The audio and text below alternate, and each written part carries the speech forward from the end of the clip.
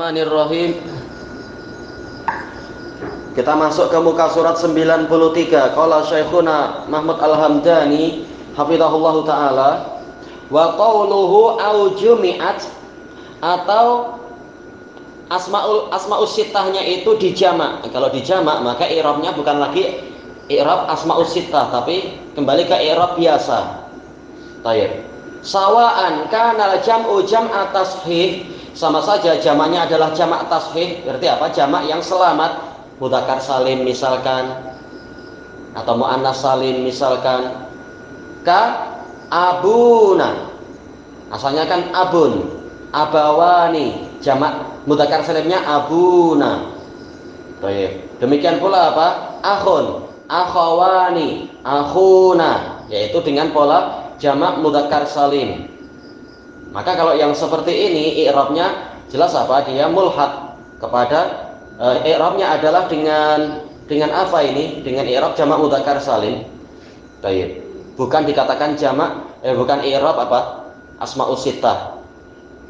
Walam yujma' hadzal jam'a siwa dzainil ismain. Tidak ada yang dari asmaus sittah itu yang dijamak dengan pola jamak mudzakkar salim kecuali dua isim ini abun dan akhun ini.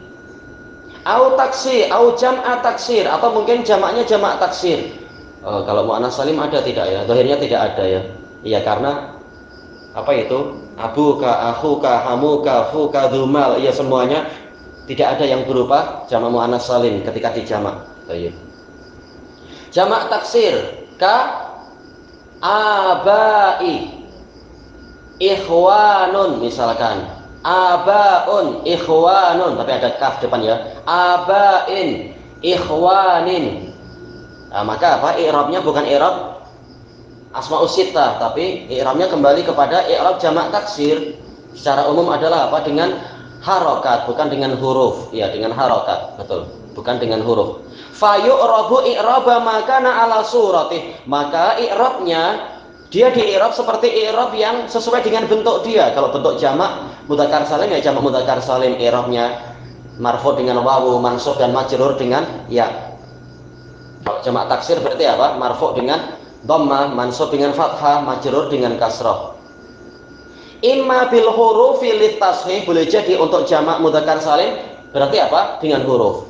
Kalau polanya dengan pola jamak mudzakkar salim au bil harokat atau dengan harokat lit taksir untuk jamak taksir intinya dia keluar dari pembahasan asma usita washtarata ba'dun nahwiyin sebagian ahli nahwu mensyaratkan alla yakuna mansuban.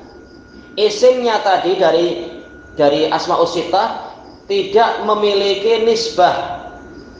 Yaitu apa? Tidak mengandungi ya nisbah. Kayak seperti apa contohnya ya? Abawai ya nggak dikasih harokat jadi susah kita mencoba abawai dan akhawai. Yaknya ini adalah ya nisbah. Ya nisbah itu apa? Seperti misalkan apa? Orang kedah al kodahi ya, ada ya orang Malaysia al Malizi orang Melayu al Malawi misalkan. Belakangnya ada ya Baik. Kalau orang apa? Makkah, Maki, ada ya. Ini ada ya nisbah. Sebagian mensyaratkan tidak jumpa ya nisbah. Ini mirip dengan apa pembahasan yang syarat kedua yaitu tidak berjumpa, tidak diidhofahkan kepada ya muannats eh, ya ya mutakallim. Mirip kan sama-sama ya. Wa qad taraka hadza aksarun nahwiyin mayoritas dari nah, ahli nahwu meninggalkan syarat ini, mengatakan tak perlu syarat ini disebut. Kenapa? Lilistighnai anhu bishtiratil idhafati fiha.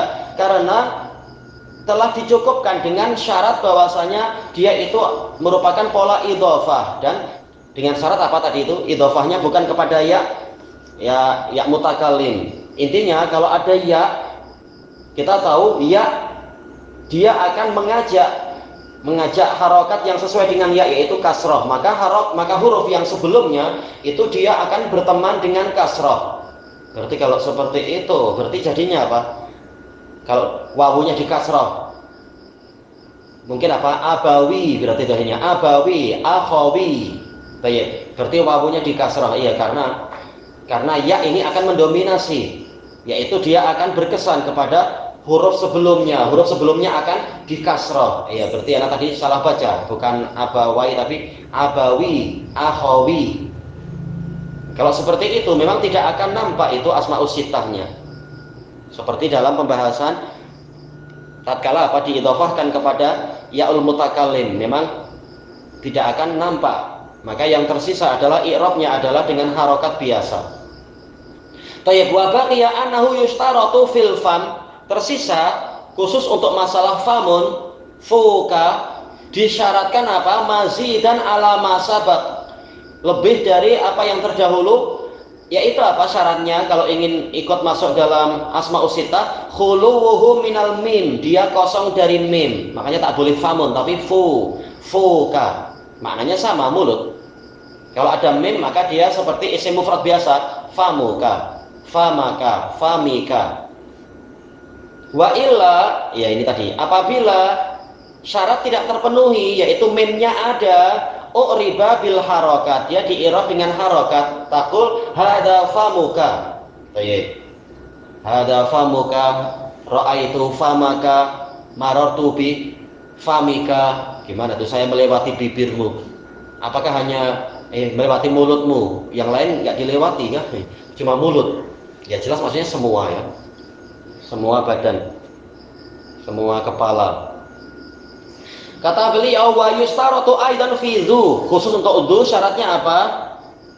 Ghairu ma sabak selain apa yang ghairi ma sabak selain dari syarat-syarat yang terdahulu antaku nabi makna sahib. Maknanya dhu itu adalah sahib yaitu pemilik.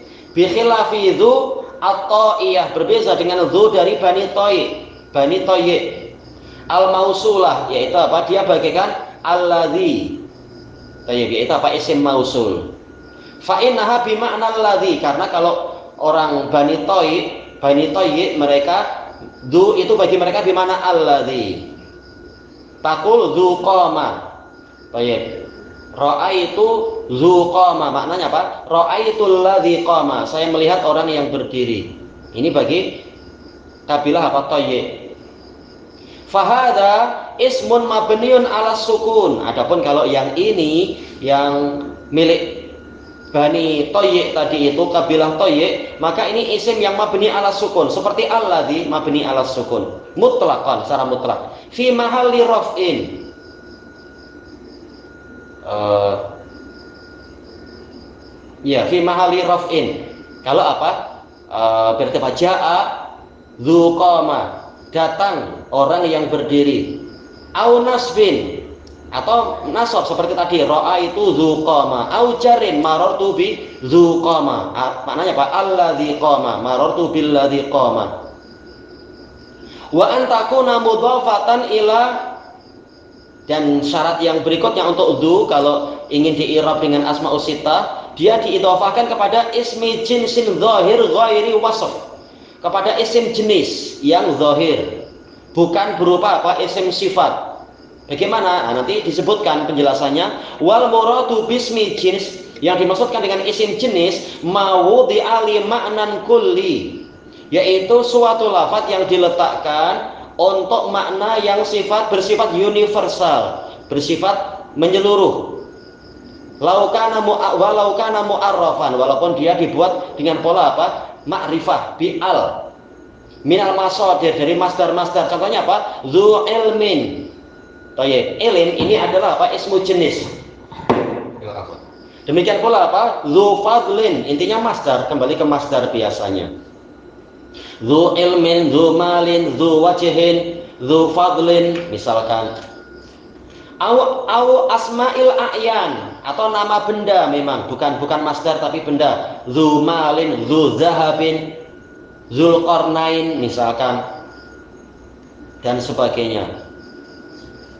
Wal muradu bi zahir ismu jenis yang ismi jinsin zahir ikhrajul mutmar yaitu yang bukan apa? Bukan isim domir. Wa in ada ala ismil jenis walaupun isim dohirnya eh, isim domirnya tadi kembali ke isim jenis tak boleh Tetap apa memang isimnya adalah isim yang zahir. Masdar-masdar tadi atau nama benda, zahabin yang memiliki emas misalkan, maktabin yang memiliki meja, boleh, tak masalah.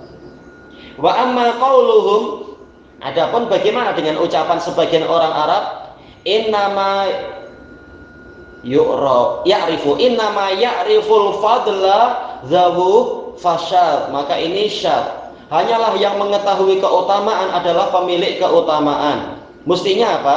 Mestinya jangan kepada isim dhamir tapi isim dhahir innama ya'riful fadla. Berarti apa kita kita baca? Zawul fadla atau zul fadla. Misalkan kita buat mufrad zul fadla. Jadi jangan zawu jangan dengan domir tapi dengan isim jenis yang zahir.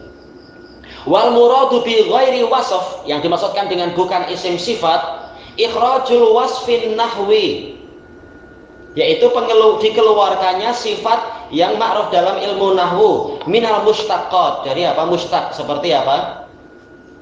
Seperti isim fa'il isim maf'ul dan sifat sifat musyabbahah. Itu dikatakan wasaf fala yuqal alimin. Ya tak boleh tapi dzu ilmin setelah du itu masdar atau atau tadi itu apa itu isim a'yan nama benda.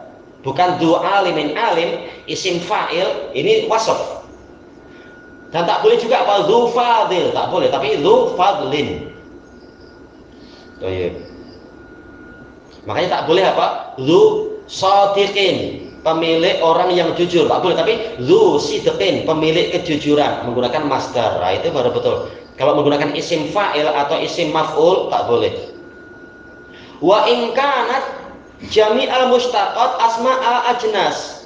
Walaupun semua isim-isim mustaq itu sebenarnya juga boleh masuk kepada isim jenis. Seperti apa? Alim ini jenis orang alim. Terserah siapa pun dia alim ini isim jenis juga hakikatnya. Namun yang dimasukkan di dalam pembahasan ini isim jenis maksudnya adalah master-master itu. Master atau isim benda benda yang tadi itu mal, zahab, bukan yang polanya adalah isim fa'il, isim maf'ul, bukan. Walaisal maksud al wasfu al walaisal maksudu al wasfal maknawi, bukanlah yang dimaksudkan adalah wasf yang maknawi. Eh uh, Kal apa ini ya? Al ilim misalnya dengan yang tadi apa? Ada agak ada kerancuan ya. Biasanya apa ya? Tak tahu ini. Langsung dengan apa? Cuma biasanya cuma al aja kan ya? Kal elim wal karom wal fadl. Entah nanti coba kita lihat untuk cetakan yang baru. Apakah ada penjelasan yang lebih? Fa innaha tudafu ila dzalik karena dia diidofahkan oh alam apa yang dimaksudkan di sini? Kama sabat. Tak ada penjelasan yang yang lebih jelas. Tapi ma'ruf dul fadl itu boleh. Nggak tahu kenapa beliau tahu-tahu menyebut ini yang sifat yang maknawi. Insya Allah dibahas pada kesempatan yang akan datang. Wallahu a'lam.